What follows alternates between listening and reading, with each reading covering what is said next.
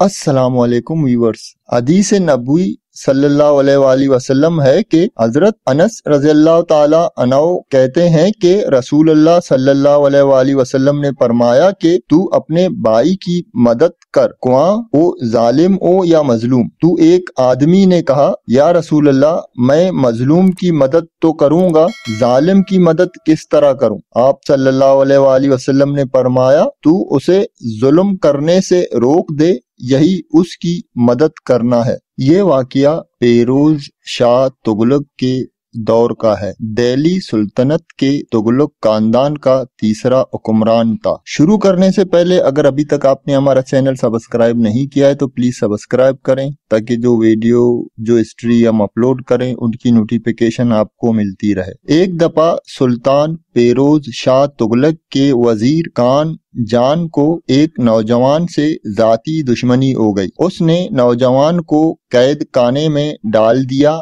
और कैद खाने के अफसर को हुक्म दिया कि इस पर बहुत सख्ती करो। इस नौजवान का बाप हज़रत मखदूम जानिया जहाँ गश्त रहमतुल्ला अलैह की खिदमत में हाजिर हुआ और उनसे दरख्वास्त की कि आप मेरे साथ वज़ीर के पास चलें और उससे सिफारिश करें कि वो मेरे बेटे को छोड़ दे और उस पर जुल्म ना करे। बिल्कुल बेगुनाह है। हज़रत मखदूम को इस नौजवान की मुसीबत का आल सुनकर बहुत दुख हुआ और फ़ौरन वज़ीर के मकान पर पहुँचे, मगर उसने उनसे मिलने से इनकार कर दिया। मखदूम साहब वापस आ गए। इधर वो नौजवान बहुत तकलीफ़ में था, इसलिए इसका बाप बार बार मखदूम साहब की खिदमत में आता और वो बार बार वज़ीर के पास जाते। लेकिन वो इस नौजवान को रिया करने से साफ़ इनकार कर देता था। कहते हैं कि मखदूम साहब 19 बार मजलूम नौजवान की सिफारिश के लिए वज़ीर के पास गए, लेकिन उसने इनकी बात ना मानी। जब वो बीसवीं मरतबा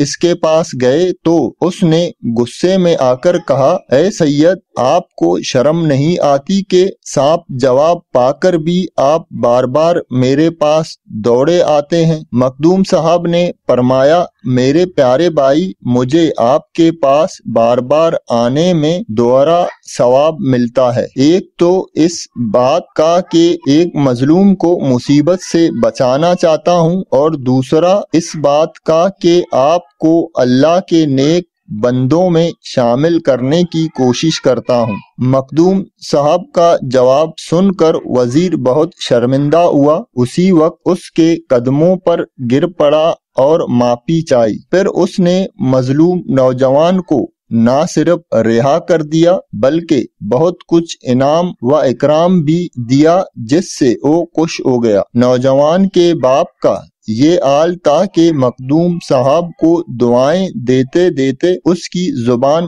तकती न थी। अगर आपको ये वीडियो पसंद आई तो लाइक और शेयर ज़रूर करें और अपनी कमेंट्स के ज़रिए हमें ज़रूर आगाह करें। शुक्रिया।